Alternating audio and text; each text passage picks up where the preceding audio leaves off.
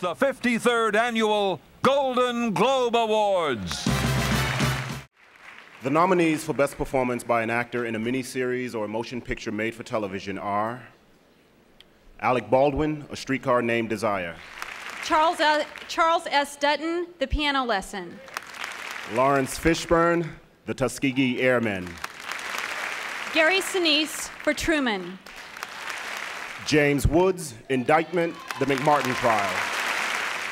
And the winner is Gary Sinise for Truman. Thank you, thank you. Um, uh, uh, thanks uh, to the Hollywood Foreign Press. This is, I, I'm just like in a blur here. It's, uh, it's amazing. All these faces, and I'm just not at all used to this. Um, uh, HBO for making the movie, and uh, our great producers, Paula Weinstein, Doro Bachrach, and Thea Sylbert uh, for all talking me into to doing it.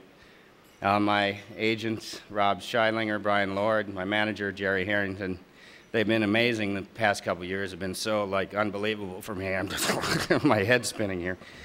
Uh, and uh, of course, this this the, this couldn't have been done without this support of this amazing crew. These HBO movies, I mean, they're they're like madness. You know, you get in there and and and you work like a maniac. You work 20 hours a day and. You know, they keep pushing you and pushing you. And I looked around, I looked at the crew one day, they were falling down and everything was a, a mess. And, you know, finally I had to say, let's take a day off. so, this crew was, was amazing. And, uh, and they deserve a lot of credit uh, for, for getting this movie made.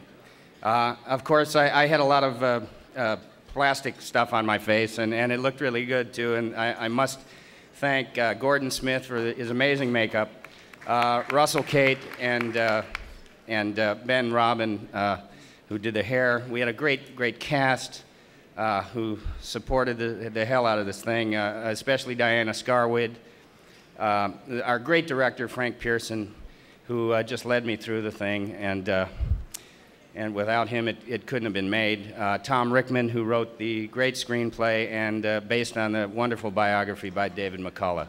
Uh, my family has been totally supportive of me for, for 20 years in the theater, and, uh, and now they get to watch me on TV with stuff like this. So it's, it's, it's just great.